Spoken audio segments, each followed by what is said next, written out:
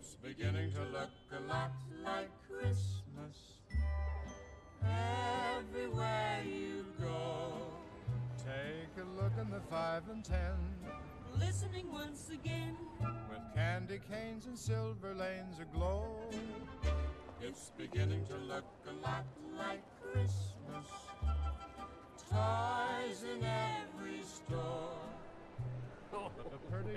I'll definitely be getting you that bicycle, and I'll see what I can do about your parents' ugly divorce, Karen. All right, Merry Christmas. Who's next to Santa? Kumar, no. Merry sweet. Come on, is this a joke? Hold the fuck on, Reba. Your son can rub his ass on Santa's cock in a minute. No, wait.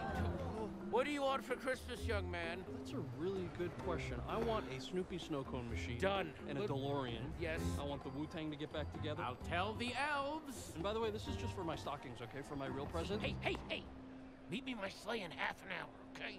You got it. Merry Christmas, Santa. Yeah, thank- Oh, bow. Right in the sugar plums.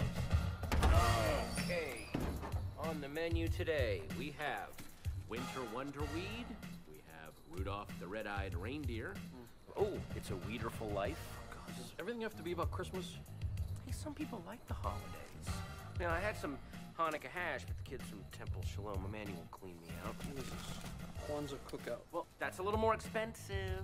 This is like that uh, Diwali dank from October. I'll take it. Hello, gentlemen. Shit. What?